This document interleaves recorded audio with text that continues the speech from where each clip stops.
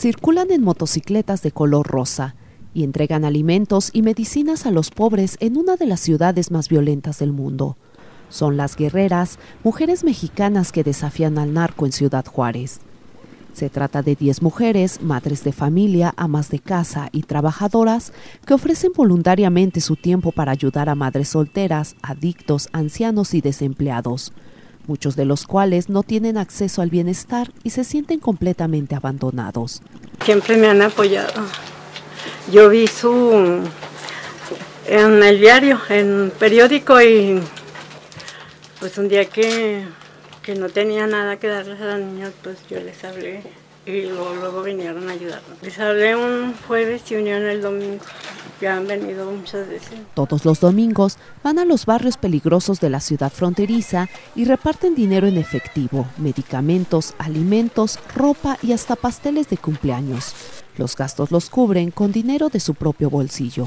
De semana trabajamos, eh, tenemos nuestro hogar también, atendemos a los hijos y eh, el domingo nos preparamos para este tipo de labor.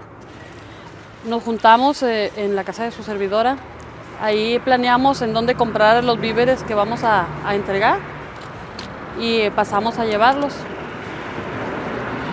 Ya de regreso, pues regresamos nuevamente al lugar de inicio y ahí planeamos la siguiente semana. Las mujeres dicen que sus motocicletas son de color rosa para proyectar una imagen menos amenazante, una imagen femenina que las distinga de los sicarios del narcotráfico.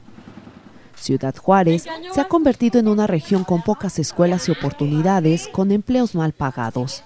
Muchos jóvenes sin trabajo son atraídos por las pandillas del crimen organizado que les llegan a pagar 100 dólares por matar a algún enemigo.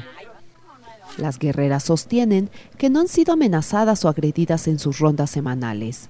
Estamos tratando de hacer algo diferente con la esperanza de que algún día vuelva la paz, dijo una integrante del grupo antes de ponerse su casco, revolucionar su moto y salir disparada.